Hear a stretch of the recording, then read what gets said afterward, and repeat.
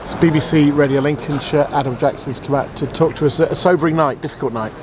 Yeah, definitely, especially after the week we've had. I think big highs last week and even good point away at the weekend. A bit, bit of a bump back down to earth, but against a really good side. I think we'll be up there at the end of the season, so just gives us a bit of a barometer where we need to be. We know we need to be better against teams like that if we want to be where we want to go in the league. Yeah, they made it very difficult for you to play, didn't they?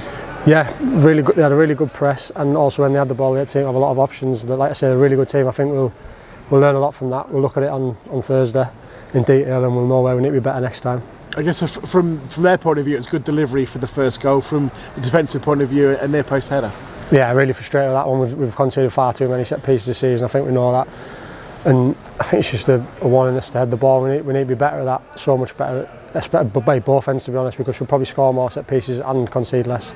And uh, Lukas's um, mistake, I mean, we shouldn't forget he made an excellent save in the first half and he's had a good season. Yeah, yeah, we, we- no one's blaming Lucas at all for that because, like you say, he's made some massive saves for us this season. It's got some big points, so it's, it is one of them things with goalkeepers, it's fine.